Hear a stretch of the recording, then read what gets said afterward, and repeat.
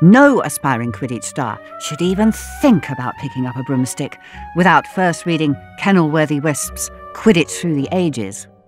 Harry Potter, for one, took a lot from this comprehensive history, before it was confiscated by Professor Snape, that is.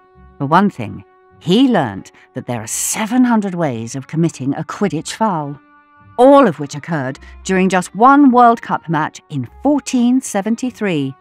What's that you've got there, Potter? It was Quidditch through the ages. Harry showed him. Library books are not to be taken outside the school, said Snape. Give it to me. Five points from Gryffindor. As every fan of the Harry Potter stories knows, the shelves of the Hogwarts Library are home to all sorts of bewitching books. Quidditch Through the Ages is just one of three, ready and waiting for you to check out. Listen now and brush up on your Quidditch facts.